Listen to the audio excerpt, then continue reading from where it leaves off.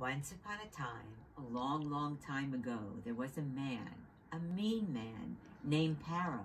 He made the Jewish people work all day and all night to build his city. You will keep working and keep building until all of my pyramids reach the sky, and I won't even give you a snack. Mwahahaha. All we do is work, work, work, work, work.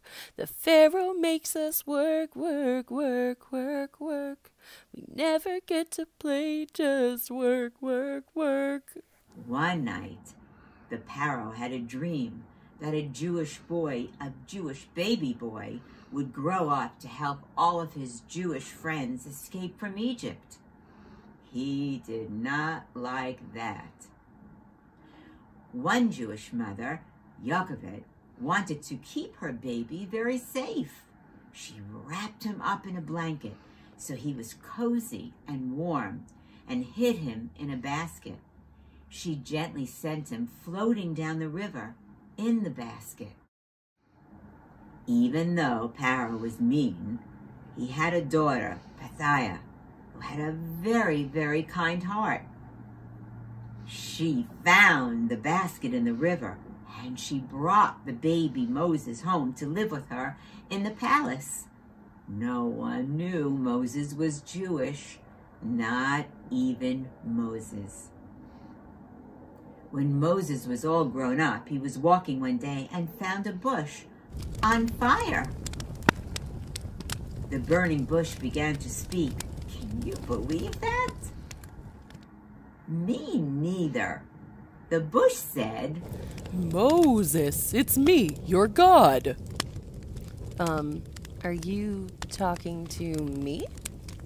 Of course I'm talking to you. And guess what? You're Jewish. What?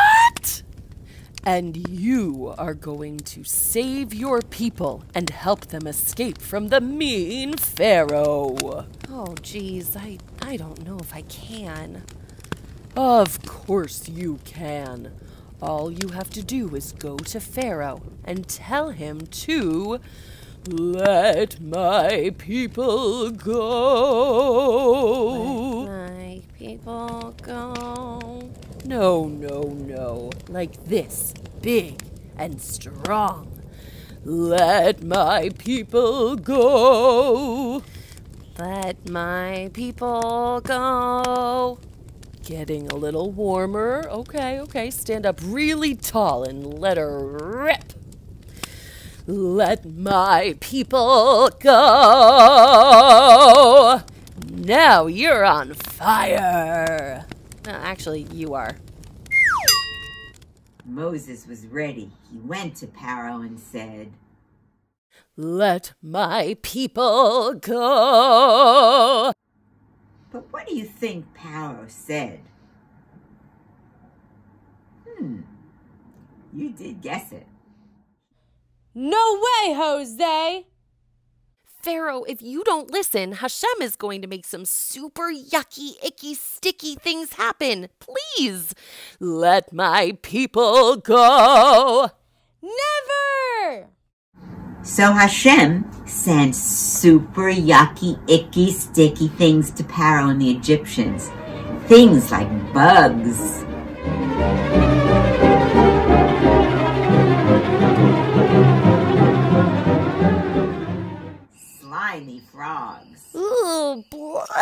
Blech. Darkness. Ah! And even ice cubes raining from the sky. Ouch! Ow! Ouch! Oh! Ow! Ooh, hey! Ow! So Moses went to Pharaoh one more time.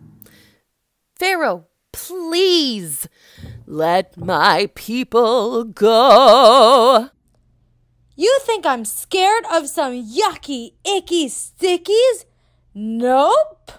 So Hashem decided to give the Paro a taste of his own medicine and sent all of the Egyptian baby boys away. Now, Pharaoh, please, won't you let my people go? Pharaoh was so very sad and so very tired. He finally said, Yes, you can go. The Jewish people were so excited to leave Egypt. They packed their bags and left so quickly that their bread didn't even have time to rise or become soft. Instead, it was flat and crunchy. Hmm, not bad. The Jews made it all the way to the sea and they heard a noise. It was Pharaoh. I changed my mind. You're coming back to finish building my city. Mwahahaha. Oh no, we're trapped. What are we going to do? Just then, Hashem split open the sea. This made a path for the Jewish people to escape from Paro. Paro tried to chase him, but Hashem closed the path before Paro could catch up. No!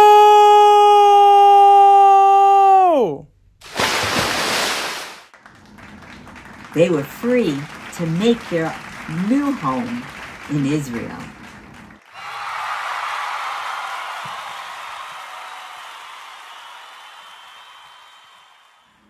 Every year, we celebrate Passover.